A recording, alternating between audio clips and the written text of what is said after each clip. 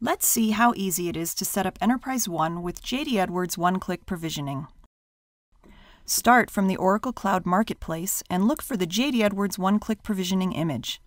Provision the image by doing a Get App from Marketplace. This gets you to the JD Edwards one-click provisioning user interface. This interface provides you three simple steps to set up your EnterpriseOne environment.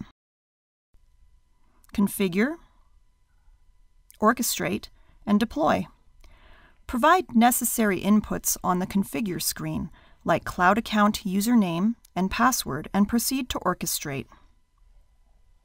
Use Quick Start to provision the basic JD Edwards environment. Provide a few inputs like database server name and path codes you need to install, which are necessary for provisioning. Do the same for the enterprise server, HTML server, and deployment server.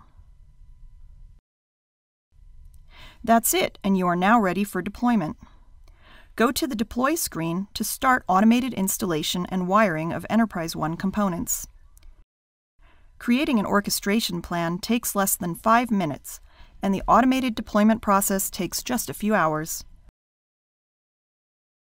There you go! You are now ready to log into JD Edwards and start your work.